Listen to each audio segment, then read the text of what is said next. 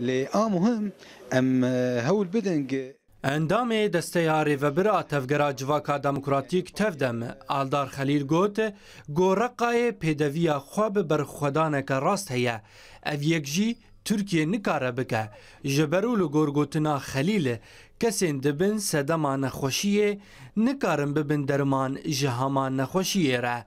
Serkirdeyê tev demê Aldar Xelîl di hevpeyvîneke rojnamevanî de li ser operasyona bajarê Reqayê û pêwistiya rizgarkirina wê ji DAIŞ'ê wiha axivî, Tirkiye bi planên xwe hewl dide pevçûnên Hêzên Sûriya Demokratîk û Hêzên Şoreşger asteng bike, da destek be ji çeteyên DAIŞ'ê re û hêza wan li Sûriyê vegerîne.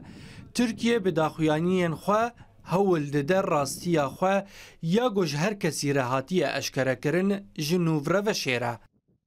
Xelîl wiha domand, Rizgarkirina bajarê Reqayê dawiyê li hebûna çeteyên DAIŞ'ê ya leşgerî tîne, ji ber ku Reqa ji teroristan re xwedî giringiyekê ye û mezintirîn bargehên rêxistina terorîst ya DAIŞ'ê ye û bi rizgarkirina Reqayê dê hêza leşgerî ya çeteyan ku ji Mûsilê direvin lawaz bibe û destêwerdanên Tirkiyê yên ji rewşa Sûriyê re sînordar be. Herwiha dê li Feratê û herêmên wê jiyaneke nû bijîn.